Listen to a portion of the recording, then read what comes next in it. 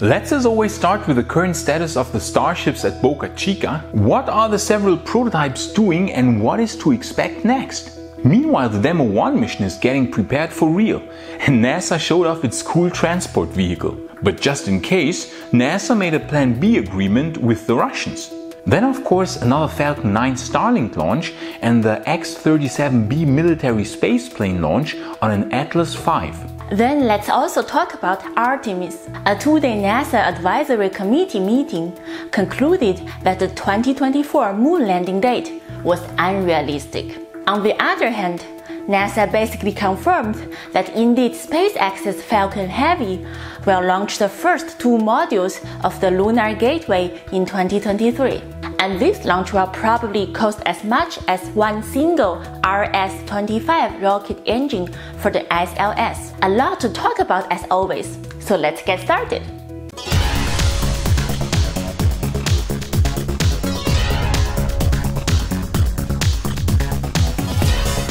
So after Starship SN4's successful static fire tests in the last few weeks, now we are of course all waiting for the 150 meter hopping test. A new Raptor engine has been installed into SN4, replacing the old one used in the static fire tests. By the way, the new engine carries the name serial number 20. So after a new wet dress rehearsal and a new static fire test with SN20, Starship SN4 will of course need systems installed to control its rotation and provide fine-tuning of its flight trajectory. After the attitude system being installed, we will probably witness the first 150 meter hopping test still in May, with luck even as soon as in this week.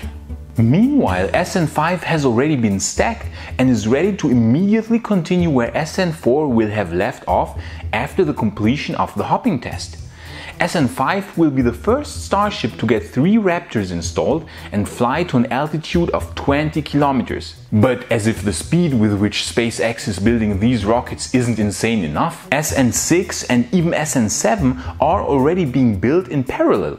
The speed with which SpaceX is ramping up Starship production is absolutely crazy, and the people working at Boca Chica are absolute beasts and heroes of humanity. The names of the people working on these early prototypes should be inscribed on a giant shiny plaque at the entrance of the Erebus Montes base station on Mars in the future. So with an upcoming first hopping test of a real Starship prototype, May could indeed turn out to be a very important month for the future of human spaceflight.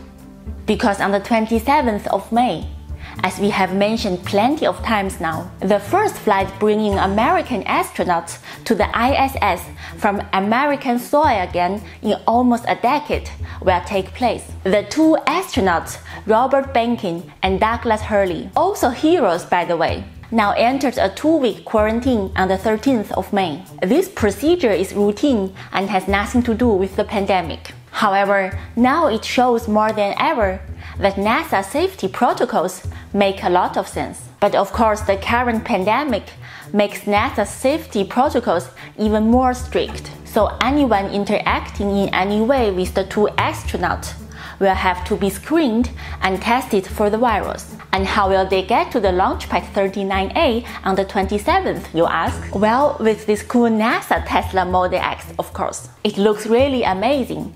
But we have to say, it would have been even cooler to have a NASA Cybertruck already. Well, we will probably have to wait another one and a half years for that to happen.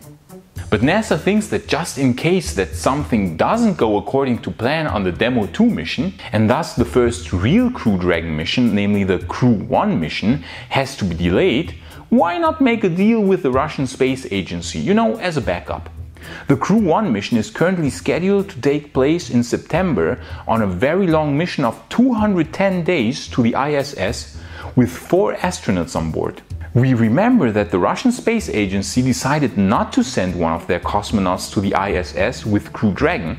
We talked in detail about the real reasons in this video here. Of course, officially because Roscosmos doesn't deem the Crew Dragon capsule safe enough yet. In reality, of course, because Roscosmos hates SpaceX, since SpaceX is totally destroying their entire business. And what does NASA do as an answer? Already prepare a seat aboard Soyuz, just in case, you know. And of course, the Russians ask 90 million per seat. By the way, NASA has paid the Russians $3.9 billion since 2006 to launch American astronauts to the ISS. Isn't it ironic that NASA basically kept Roscosmos alive all this time? And that Roscosmos now doesn't want to participate in the Crew 1 mission? We'd say it's about time to stop funding Roscosmos altogether. That will then maybe force them to lower their prices and maybe also start developing reusable rockets. Because without reusability, Roscosmos will play absolutely no role anymore whatsoever in human spaceflight in the future. Anyways, let's hope that Demo 2 will be successful so that Crew 1 will be able to launch as planned in September on the Falcon 9 and Crew Dragon. But if you think that the Russians are ripping off NASA, don't worry, because American companies are also very good at that. For example, a seat on Boeing's Starliner also costs NASA $90 million. How patriotic of Boeing to ask the same as the Russians. That really shows that it's not all about money for Boeing. That they're not only a greedy company that only thinks about money. No, they really want to help NASA in any way they can. Real patriot, Boeing managers. Real patriot. And those same Patriots, which are by the way part of ULA, have launched an X-37B spaceplane on an Atlas V last Sunday, the 17th of May. Some of the mission details are classified, others, however, are non classified, such as the technology to beam back power generated in space via solar arrays back to Earth. It's a quite old idea, actually. Why not build giant solar arrays in space and beam back the energy via microwaves down to Earth? The science is quite well understood, However, there are of course engineering challenges to be overcome for scaling this technology and show that it's technologically feasible. Highly interesting for sure. And for Tuesday, the 19th of May, we have the next launch of 60 Starlink satellites scheduled. It should have taken place already last Sunday, but has been delayed due to bad weather. The number of working Starlink satellites will thus be increased to 480. And SpaceX just continues to launch them every two weeks so that by the end of the year, we could have around 1200 Starlink satellites in orbit. This would be enough for quite good broadband coverage of the US and Canada. The Starlink public beta will launch around October this year, and the real launch then by the end of 2020 or early 2021. And now, as always, Artemis. Come on, we really like Artemis. The program itself is actually awesome, and we are strong proponents of the idea to first build a moon base and afterwards a Mars base. We have to first train on the moon and gain experience because honestly, humanity's track record for deep space missions is pretty laughable. The only thing we have to show for are the Apollo missions that took place between 51 and 48 years ago. Since then, nothing has happened in that direction. We were stuck in low Earth orbit since then, which is absolutely pathetic. Attempting to immediately build a Mars base and bypass the moon is highly risky in our opinion. Therefore, the Artemis missions will serve as an excellent opportunity to gain some skills, to level up, you know, like in an RPG. You cannot just kill some super difficult bosses when you're still at level 1, can you? No, you have to level up.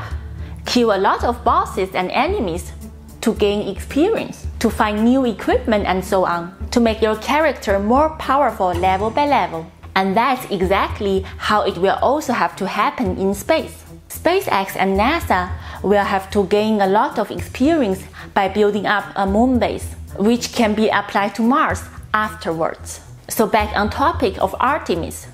A two-day NASA advisory committee meeting has taken place last week. The conclusion they basically arrived at was that it would be really difficult to achieve the 2024 landing date for the crewed Artemis 3 mission. That certainly comes as no surprise. No one said it was going to be easy. So, in the end, the committee made some recommendations. A. Uncrewed and other precursor flight missions should be performed to demonstrate the readiness of the systems before committing to high risk human missions. B. NASA management at all levels, but especially in the HLS program, should always emphasize safety over schedule. C. Mission abort and potential crew rescue operations should be included in HLS planning. D. Timeliness of decision making can lead to improved safety by avoiding later schedule compression. So, in short, this means that safety should come first and not the landing date itself. We should keep in mind that these are just recommendations, though. What is much more important is the budget for NASA in the coming years, and this still hasn't been decided yet. It will be decided later this year. And guess where a lot of NASA's budget is going to? Yes, that's right. More and more is going to SpaceX, which is an excellent development. For example, now it's basically confirmed that indeed Falcon Heavy will launch the first two modules of the Lunar Gateway into a rectilinear halo orbit around the Moon in 2023. The two modules are the PPE and the Halo modules. And of course, SpaceX's Dragon XL will resupply the gateway afterwards. These are really excellent developments. However, still far too much money is going to Boeing, Lockheed, and Aerojet Rocketdyne. The latter company builds the RS-25 rocket engines for the SLS, and one such engine costs a relaxed $146 million. One for 146 million. So for all the engines of one SLS rocket, you need $584 million. And of course, they are all thrown away after each launch. What did you think? Imagine what SpaceX could achieve with such funds. But changes, my friends, take time. And we are already starting to witness a change. A gradual change from inefficient old companies towards SpaceX. SLS is the last time that such companies will be able to suck out money from NASA. And when SLS is retired by Starship in a few years, the era of NASA subsidizing inefficient and greedy companies will also come to an end. So, what you say, will the era of old and inefficient and greedy companies soon come to an end thanks to Starship? And do you also think that we should first try to colonize the moon before we fly to Mars? So you just watched the Monday JS Space Report where we talk about the most recent news and developments in spaceflight. And on Fridays we go in deeper into some topics. For example, next Friday we'll talk about Elon's Mars colonization plans. So stay tuned for that. So thanks for watching and I'd say on to the future. Fridays we talk about very cool things. So stay tuned for Friday. Na gut. Danke. Gerne, mein Schatz.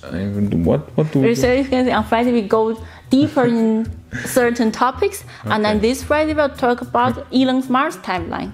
Ah ja.